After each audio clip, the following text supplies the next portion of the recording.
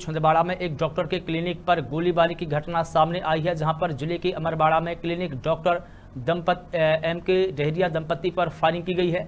Doctor दंपति को गोली मारने के बाद हमलावर ने खुद को भी गोली मार ली। जिला हॉस्पिटल में उपचार के दौरान पति पत्नी की मौत हो गई है। फ़िलहाल पुलिस इस पूरे मामले की जाँच और पड़ताल कर रही है।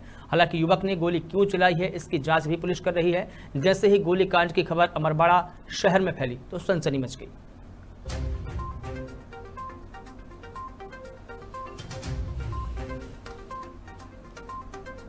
दो लोग बाग आए हैं जिनको हिस्ट्री है कि उनको गोली मारी गई है।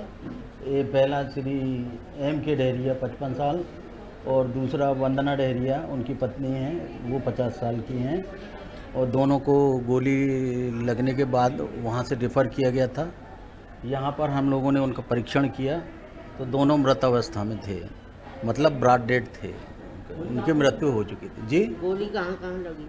एक को गोली छाती में लगी है, जो एम के डहरिया हैं, उनको गोली छाती में दाहिने तरफ़ लगी है और दूसरा वंदना जो है, ऊपर पीठ की ऊपरी तरफ़, रीढ़ की हड्डी में उनको गोली लगी है। मरवाड़ा में डॉक्टर महेश डेहरिया और उनकी पत्नी जो वहाँ चिकित्सा का कार्य करते हैं, उनको एक सोनू मालवी नाम के एक युवक जो 25 वर्ष का है, उसने गोली मारी।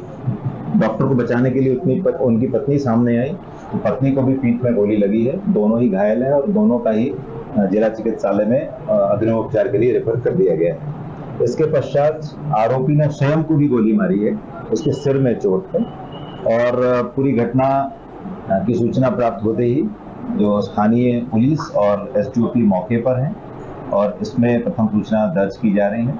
विवेचना में जो तथ्य आएँगे। इसमें आगे कार्रवाई की जाएगी।